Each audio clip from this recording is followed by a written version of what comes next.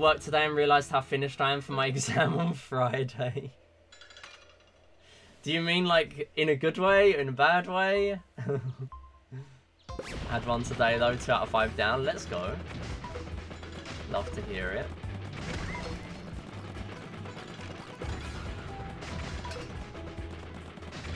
And then is, I assume that's it for the year because it, it's coming up at that sort of time, right? A long summer holiday for uni.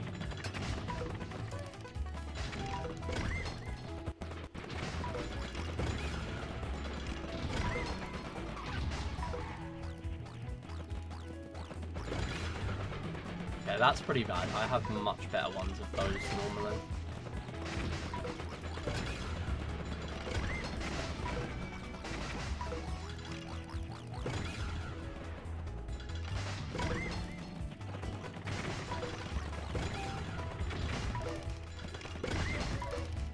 No, that was such a bad ending. Ugh, three, three, four. Let's go.